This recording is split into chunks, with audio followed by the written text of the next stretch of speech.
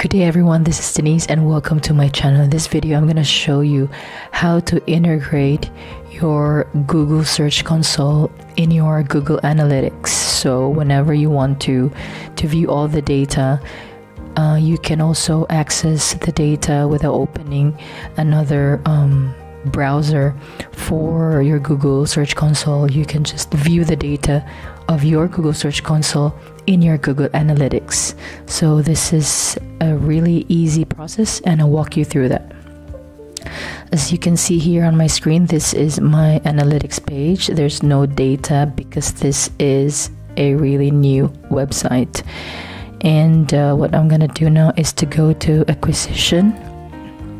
Sorry about my voice, I am not really in 100% uh, perfect condition. And then go to the uh, search console click that. And then landing pages click that. And then here you gotta set up search console data sharing.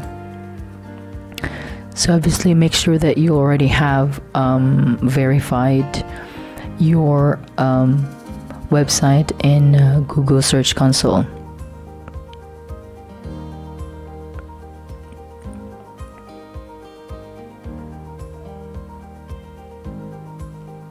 so it's loading.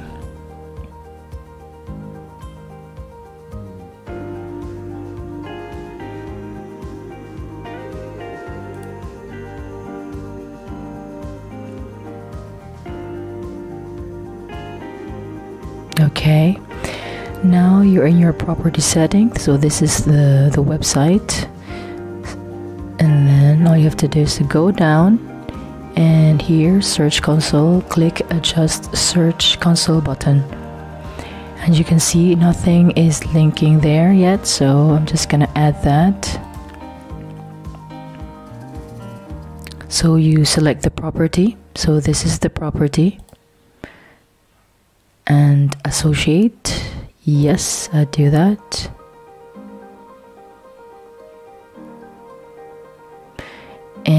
so that's it. Let's just refresh this and see if something is already shown there. Okay there you go. Http searchlink.com so that's it guys. That's how easy it is to integrate your google search console to your google analytics. Thank you so much for watching.